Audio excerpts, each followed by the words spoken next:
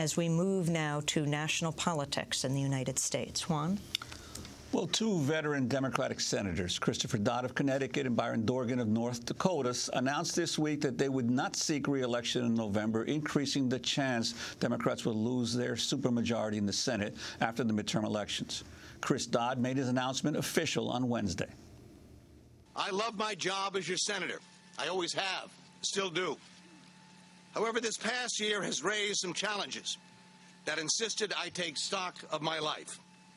Over the past 12 months, I've managed four major pieces of legislation through the United States Congress, served as chair and acting chair of two major Senate committees, placing me at the center of the two most important issues of our time health care and reform of financial services. I lost a beloved sister in July, and in August, Ted Kennedy. I battled cancer over the summer, and in the midst of all of this, found myself in the toughest political shape of my career. Many pollsters had predicted Christopher Dodd was likely to lose his seat in November against Republican frontrunner Rob Simmons. Hours after Dodd spoke, Connecticut's popular Attorney General Richard Blumenthal, a Democrat, said he would run for Dodd's seat. Dodd's approval ratings have fallen following disclosures that he had received discounted loans from the subprime mortgage lender Countrywide and that he helped pave the way for employees of the bailed-out insurance giant AIG to receive $400 million in bonuses.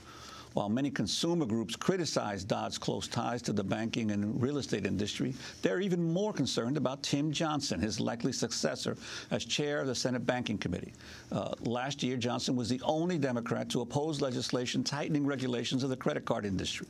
Johnson is also the largest recipient in the Senate of campaign donations from payday lenders.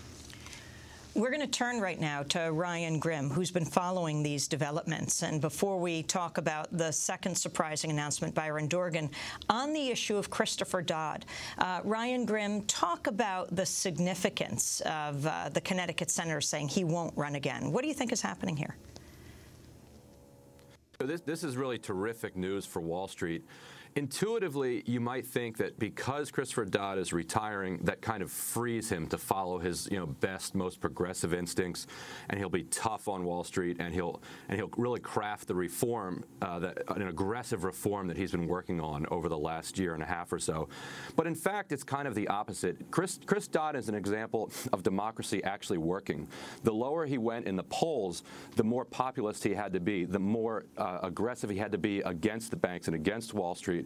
And so there was real hope that in order to save his own skin, that he was going to pass some, some, some really strong financial regulatory reform. With him retiring, uh, he no longer has that incentive. In fact, his most likely employers are going to be the people that he's uh, that he's working to regulate at this point. And there's also uh, a Senate a Senate dynamic that you need to think about. A chairman is powerful because of the the, the threats and the punishment that he can dole out or the promises that he can make in the future. If he's not going to be around in 2011, then people aren't going to be as afraid of him, and they're not going to want anything from him because he won't be there to deliver it. So that makes him, uh, you know, a much weaker chairman uh, shepherding this legislation through. And the significance of Tim Johnson, his likely successor to be chair of the Senate Banking Committee? Sure, that's that's another gift to Wall Street.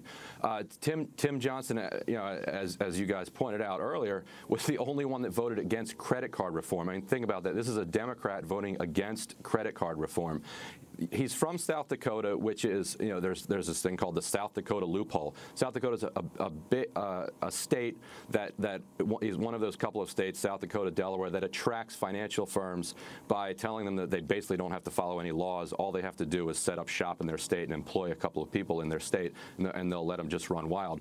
So the the only hope that that's out there, if Tim Johnson becomes chairman, is people hope that he kind of gets religion and and says, well, I was a South Dakota uh, Democrat, so of course I had to vote with the credit card companies, and I had to vote with the banks, I had to vote with the payday lenders and all these folks.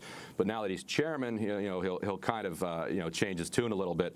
That that's a really uh, flimsy read to, to try to hang on to. The other possibility is that. Jack Reed, a progressive from Rhode Island, could, could leapfrog him and get the chairmanship. So there's going to be some jockeying in the beginning of, uh, of the next uh, Congress over that chairmanship, and there's going to be a real push from consumer advocates and liberals to get to get Jack Reed uh, to take that gavel rather than Tim Johnson. Ryan Grim, we're going to ask you to stay with us, but we have to break right now. Ryan Grim is senior congressional correspondent for the Huffington Post. We're talking about Christopher Dodd, Tim Johnson, uh, possibly replacing him, or is it Jack Reed? And we're going to talk about Byron Dorgan, the significance of his announcement that he will not seek re-election. Stay with us. I'm Amy Goodman with Juan Gonzalez. Our guest is Ryan Grim, senior correspondent for the Huffington Post. Juan? Ryan, I wanted to ask you, is there another possible scenario on this thing with Dodd's resignation that now that he is basically not going to run for reelection, uh, that uh, he is free basically uh, in crafting banking legislation? He won't have to uh, worry as much about the, the, the power and the influence of the banking industry? You know, I mean, that that's what you would think, and, that, and that's certainly what you'd hope. And the, the, New York Times this morning editorial board is calling for him, saying, you know, now that you're free, you know, uh, you know, go left, young man. But uh, you know, it's it's probably not going to work out like that because the, the freedom that he now has is to do whatever he wants and whatever is you know in his own best interest. And in it, what's in his own best interest is probably to, to work with the companies that are going to put him on their boards and make them their advisors. And when the two year uh, when the two year ban is up, you know then he can start uh, lobbying Congress as well. As long as he was worried about reelection, he had to move left. He had he had to work with consumer advocates. He had to work with progressives, and he had to be tough on Wall Street in order to get Connecticut voters to send him back to Washington. What he's also freed from, not just the banks, is from Connecticut voters. And so, you know, it, it's it's definitely possible that his that his inner lefty angel will come out and he'll he'll become a Wall Street warrior. It's also it's also possible, and I think more likely that he won't. But but time will tell, and, and this is something that we'll be watching really closely.